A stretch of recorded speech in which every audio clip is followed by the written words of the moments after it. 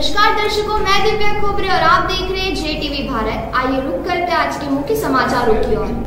वारदात में शामिल आरोपियों के साथ अन्य आरोपियों को भी किया गिरफ़्तार। जिला मंदसौर के थाना पिपलिया मंडी में तीन नवंबर के दोपहर तीन बजे कृषि उपज मंडी के सामने आईसीआईसीआई बैंक के मुख्य रोड पर दो अज्ञात आरोपियों द्वारा वीरेंद्र पिता, कन्हैया लाल, जैन उम्र तैयालीस साल, निवासी मुंद्रा कॉलोनी, पिपलिया मंडी के सिर पर बेसबाल के डंडे से वार कर रुपयों से भरा बैग, कुल अड़तीस लाख नब्बे हज़ार रूपए लूट कर मोटरसाइकिल से फरार हो गया था। श्रीमान पुलिस अधीक्षक महोदय मंसूर श्री अनुराग सुजानिया द्वारा तत्काल कंट्रोल रूम के माध्यम से चेकिंग एवं नाकाबंदी के निर्देश प्रसारित कर स्वयं भी घटनास्थल के लिए रवाना हुए। साथ ही अतिरिक्त पुलिस एवं अनुविभागीय अधिकारी पुलिस भी अलग अलग दिशाओं से आरोपी के पीछा करने हेतु रवाना हुए। घटना के बाद आरोपी पिपलिया मंडी से गुड़भेली रोड पर जाने के कारण समस्त सीमावर्ती थानों की पुलिस द्वारा आरोपियों का पीछा किया गया। उक्त नाकाबंदी के परिणाम स्वरूप आरोपी बाइक छोड़कर भाग गए। पुलिस द्वारा ग्राम तुर्किया चौथखेड़ी के बालाजी जंगल की खोह से पैसों से भरा बैग जब्त किया गया, जिसमें कुल छत्तीस लाख रुपए होना पाया गया। जब्त की गई बाइक खानपुरा निवासी मंसूर के नाम से होना पाई गई।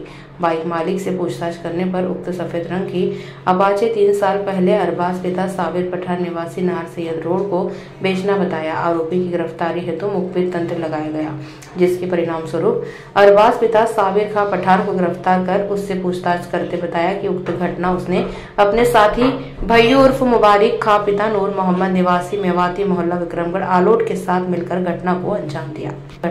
देखो। रोल?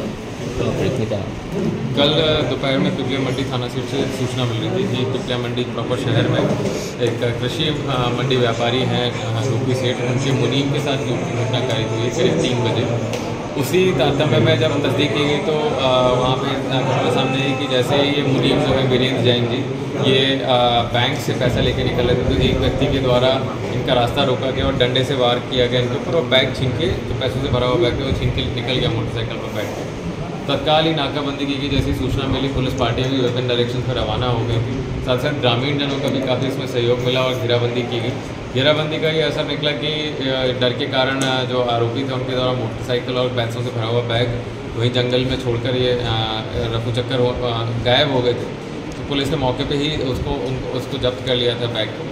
फिर इसमें जब इसके बाद आपने अगर टेक्निकल डेटा निकालना शुरू किया और इन्वेस्टिगेशन आगे बढ़ाई तो उसमें एक आरोपी का नाम क्लियर हो गया था। इसका नाम अरबाज अरबाज पिता साबिर खान पठान जो कि पच्चीस साल का है नार सैद का रहने वाला है हमारे मंदसौर शहर का ही रहने वाला है। इसका इसके द्वारा घटना करना निकला था जब इसके आगे इसको हमने ट्रैक करना शुरू किया तो आज इसको हिरासत में लेने में सफलता हासिल हुई इसमें हम, हम लोगों को। इसके द्वारा बताया गया कि इसका एक और साथी है असलम। असलम पिता आबेद में जो कि खानपुरा का रहने वाला है। वहाँ पर हमाल का काम करता है पिपलिया मंडी में। इसके द्वारा इनको ये रेकी करके बताया गया था कि ये व्यक्ति जो है प्रतिदिन इतने ज़्यादा अमाउंट का पैसा लेके निकलता है यहाँ से तो इसके ऊपर हम काम डाल सकते हैं। इसमें जो आगे एक और इनका साथी था भैयू उर्फ़ मुबारक खान जो कि आलौट का रहने वाला है जिसमें उन्होंने घटना के लिए बुलाया था वो अभी हमारी हिरासत से दूर है तो उसको हम जल्दी हिरासत में लेंगे। सर गन ये जो है बंदूक भी आपने जब्त करी ये कहाँ से जब्त की है सर? ये आरोपी हरबाज से ही हमें इसके पोजिशन से ही मिली है ये जो गन है जो पिस्तल है। अभी इसमें आगे तस्दीक की। सर लूट कितने की थी और आपने केस कितने बना किया जो हमें फरियादी के द्वारा बताया गया लूट करीब अड़तीस लाख नब्बे हज़ार की लूट थी और अभी जो हमें मौके पे से जब्त की करीब छत्तीस लाख रुपये तक जब्त हो गए फर्दर इन्वेस्टिगेशन। टोटल आरोपी किसमें कितने इसमें अभी जितनी इन्वेस्टिगेशन हुई है उसमें अभी तो तीन है। इसके आगे अभी इन्वेस्टिगेशन में संभावना है क्योंकि इतना बड़ी घटना है ये तीन लोगों से होना संभावित नहीं लेकिन इसमें और भी लोग हो सकते हैं उसमें भी तस्दीक की जाए। सर गाड़ी क्या ये चोरी की गाड़ी इस्तेमाल की थी या इन्हीं की गाड़ी थी? या इसको इसको लेकर कोई जानकारी नहीं अभी तक ऐसा कोई तथ्य सामने नहीं आया कि इससे पता चली गाड़ी चोरी सर कैसे गिरफ़्तार किया इनको कैसे पता चला कि ये देखिए गिरफ्तारी तो मुखबिर के द्वारा सूचना मिली थी इसकी तो उसी तारतम्य में घेराबंदी करके गिरफ्तारी। सर कहाँ से घर से गिरफ़्तार किया जैसे आप बता रहे सर कि ये पानी में रात भर रहे सर कल जब पुलिस जब सर्चिंग कर रही थी वहाँ पे इसकी तो आ, हमें ये खबर मिल रही थी कि आरोपी आसपास ही होना चाहिए और गाँव वाले भी काफ़ी लगे हुए थे।